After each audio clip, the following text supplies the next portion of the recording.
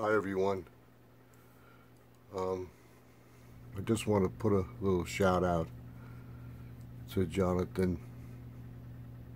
No disrespect to you, my brother. I love your work. And I really thank you for showing us all these end time events and all this symbolism. Love you for that. But there's one thing bothering me, and I need to say it. And I know I'm a small channel. Nobody doesn't really care either way. But, um, and I'm not a spokesman for Flat Earth. But I know a lot of Flat Earthers subscribe to your channel. And they're probably thinking the same thing I'm thinking. Why do you uh, don't want to address Flat Earth?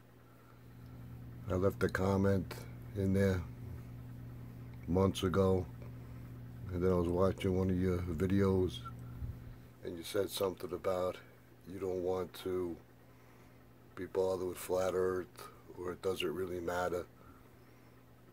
Uh, that didn't sit well with me brother. And like I said no disrespect to you. But you're telling us the Bible's true and us Christians who are in the Church of Philadelphia know that the Bible is true. And,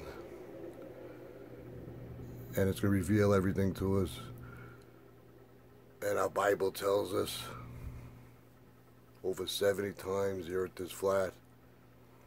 I just want to know, and I'm sure the people, flat earthers, want to know, even not flat earthers want to know, why don't you ever talk about it?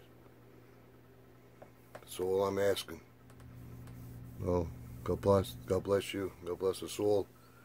Remember, all things must pass until our Lord appears.